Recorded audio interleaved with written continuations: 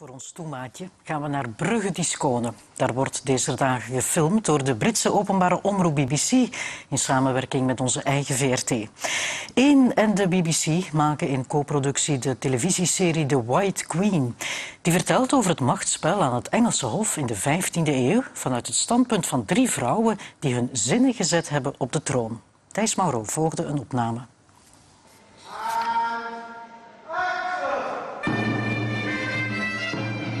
In het stadhuis van Brugge wanen we ons aan het Engelse Hof een goede 500 jaar geleden.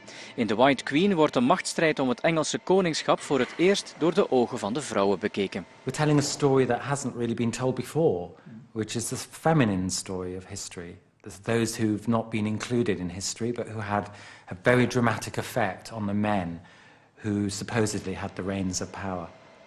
Het verhaal speelt zich af in Engeland en even in Frankrijk. Toch wordt alles in België gefilmd, grotendeels in Brugge. Engeland bleek niet erg geschikt. On every street you've got white markings on the road, you've got CCTV cameras, you've got McDonald's on the corner, whereas Bruges, where we are today, is beautiful and untouched and respected. And so it's perfect for what we're trying to do. De serie wil de reputatie van het Engelse kostuumdrama nog opkrikken, ook dankzij een indrukwekkende Belgische inbreng. He has always been a man.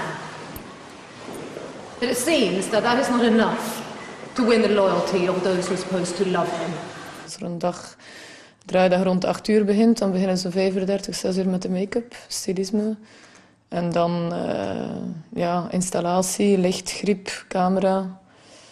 En dan het draaien. So seven months we'll have been filming by the time we go. So we'll feel like locals. We're all picking up the language. Myself very, very slowly, unfortunately. Op de eerste aflevering van The White Queen op 1 moet u zeker nog een jaartje wachten.